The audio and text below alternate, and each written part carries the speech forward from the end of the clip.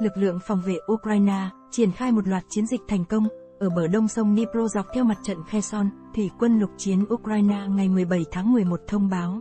Binh sĩ Thủy quân lục chiến, phối hợp với các đơn vị khác của lực lượng phòng vệ, đã giành được chỗ đứng tại một số nơi ở khu vực. Thủy quân lục chiến Ukraine cũng tuyên bố 1.000 quân nhân Nga thiệt mạng và hơn 1.200 thiết bị quân sự bị phá hủy trong các cuộc giao tranh. Tuy nhiên, quân chủng này không nêu chi tiết về các vị trí mà Ukraine đang giữ, lẫn thương vong và thiệt hại mà họ hứng chịu. Nga và Ukraine củng cố phòng tuyến ở hai bên sông Dnipro từ tháng 11 năm 2022. Sau khi rút khỏi bờ tây sông Dnipro, Nga nhiều lần pháo kích các vị trí của Ukraine trong khu vực. Lực lượng Ukraine gần đây điều các nhóm nhỏ binh sĩ vượt sông Dnipro để thiết lập vị trí trên bờ đông. Vladimir Sando, lãnh đạo tỉnh Kherson do Nga bổ nhiệm, hồi đầu tuần cho biết các đơn vị Ukraine vượt sông Dnieper và tìm cách giành chỗ đứng trên khu vực bờ đông. Nhóm binh sĩ Ukraine này bị chặn ở làng Krinky và đối mặt với lửa địa ngục từ pháo binh, tên lửa và máy bay không người lái, UAV, cỡ nhỏ của Nga. Các chỉ huy Ukraine kỳ vọng thiết lập chỗ đứng vững chắc bên bờ đông sông Dnipro có thể mở ra khả năng cho đợt tấn công bền vững hơn ở chiến tuyến miền Nam.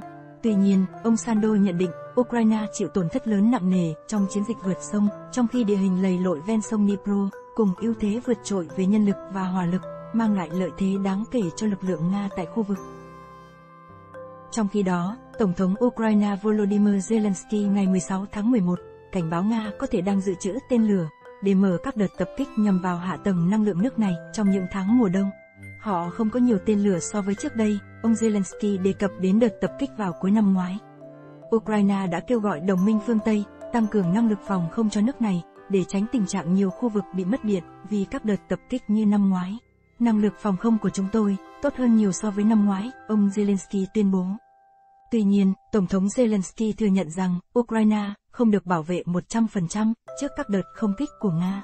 Các thành phố như Kharkov và những tỉnh như Donetsk, Zaporizhia cần nhiều tổ hợp phòng không hơn, ông Zelensky nói. Mùa đông năm nay sẽ khó khăn, nhưng không tệ như năm ngoái.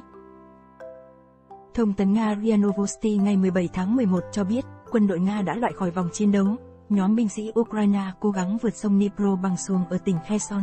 Hậu quả là năm xuồng đổ bộ của quân đội Ukraine, cùng 27 binh sĩ bị phá hủy, nguồn tin nêu rõ. Cùng ngày, phía Nga cũng tuyên bố, loại khỏi vòng chiến đấu 32 binh sĩ khác, ở khu vực Krinok cùng một nhóm tác chiến súng cối của Ukraine, gần khu định cư Tokarevka ở bờ đông sông Dnipro, phần do Nga kiểm soát. Ngoài ra, lực lượng Nga còn phá hủy một khẩu súng cối 120mm và kiếp vận hành của Ukraine ở khu vực này. Bộ Tổng tham mưu Ukraine hôm nay cho biết, các trận chiến ác liệt đang diễn ra ở Kherson. Một trong những mục tiêu chính của việc vượt sông là đẩy lực lượng của đối phương càng xa hữu ngạn Dnipro càng tốt để khu vực do Ukraine kiểm soát nằm ngoài tầm hoạt pháo kích của Nga, bộ trên cho hay. Giới quan sát nhận định vượt sông Dnipro thành công có thể coi là một trong những bước tiến đáng kể nhất của Ukraine trong chiến dịch phản công kéo dài hơn 5 tháng qua. Theo một số chuyên gia, từ đây, Ukraine có thể mở ra một hướng phản công mới, tiến về bán đảo Crimea, khu vực sắp nhập vào Nga năm 2014.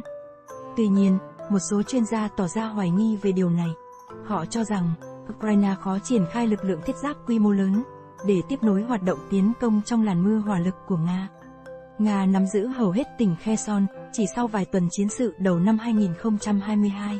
Đến tháng 9 năm 2022, lực lượng của Moscow rút khỏi thành phố Kherson về bờ đông sông Dnipro để thiết lập phòng tuyến trong bối cảnh quân đội Ukraine tiến hành một cuộc phản công lớn.